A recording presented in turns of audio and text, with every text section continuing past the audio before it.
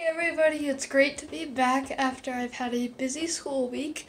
I'm just going to show you a game that I kind of transformed from a real game into my own. So let's get right into it.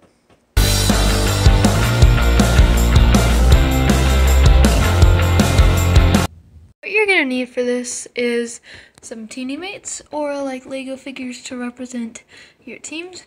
Um, regular six-sided dice, just two of them. This is just sort of like a chart thing. I'll explain that in a little. And I made it with a big game board instead of, because this used to be the board. So as you can see, I am using this as the Bears team. I don't have three Bears, so I just use the Falcons. And this is the Cowboys. I don't have three Cowboys, so I use the Panthers. So the Bears will be representing the offense, and here is how the game will work. So on this little turret thing, you can see you roll a 2, it's 6 points, which is a touchdown pass, no matter what. You roll a 3, it is a 10 yard pass, and, oh no, excuse me, 10 yard interception, and you lose the ball.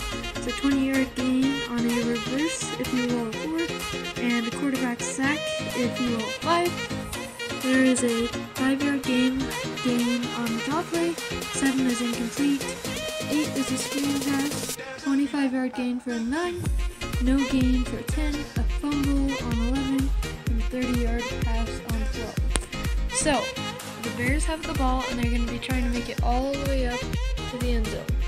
Um, so what we would do first is it's first and 10. Just remember that. So I'm going to use this little die to mark the down. So it's first down.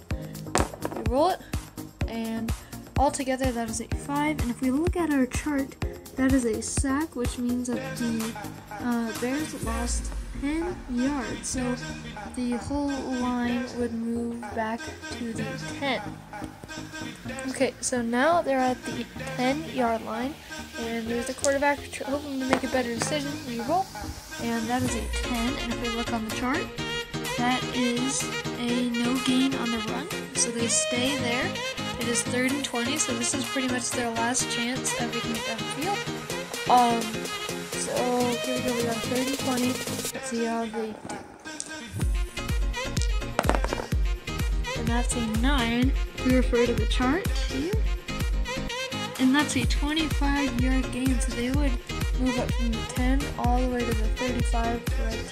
So let's check that out. It is now first down, and they 25. And that, remember, their goal is to get to the end zone right here, so they still have a ways to go, but they are making progress. So, let's see what they do.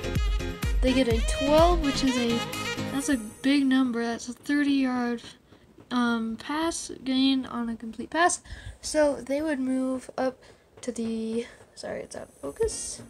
They would go up to the 45, the 45 again, the 35, 2, all the way um, to the other 35. So they will move up.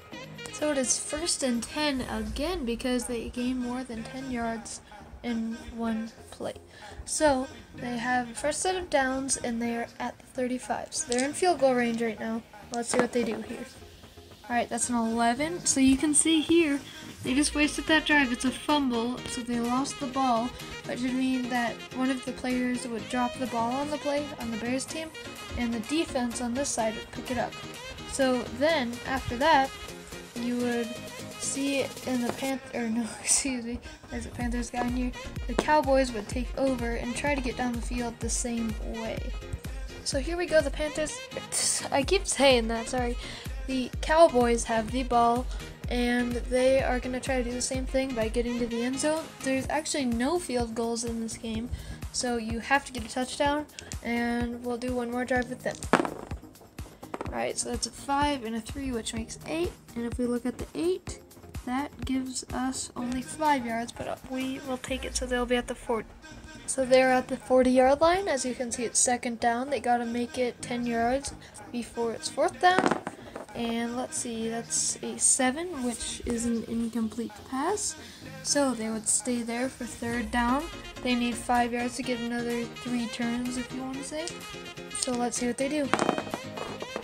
They get a 6, which is a five yard gain on the drop.